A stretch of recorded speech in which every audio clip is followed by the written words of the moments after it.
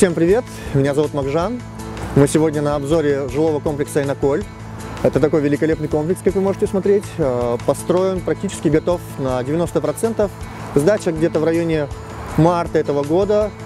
Расположение этого комплекса достаточно интересное. По улице Кошкарбаева, между улицами Сарколь и проспектом Макжана Жумабаева.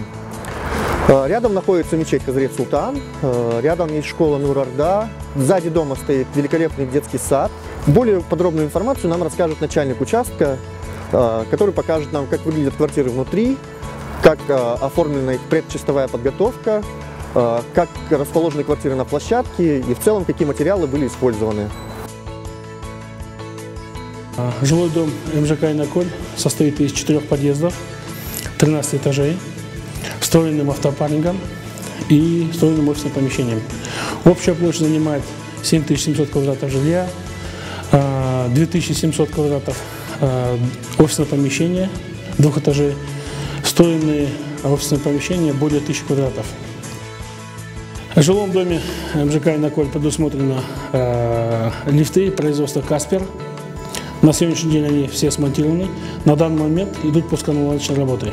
Высота потолков в квартирах составляет 2 метра 7 сантиметров. На сегодняшний день контур 100% закрыт, отопление запущено, отопление 100%, вода есть, то есть мы готовы к передаче квартир. Окна пластиковые, наружный контур закрыт холодной серией алюминиевого профиля на балконах. В квартирах предусмотрены двери, утепленные, производство Россия.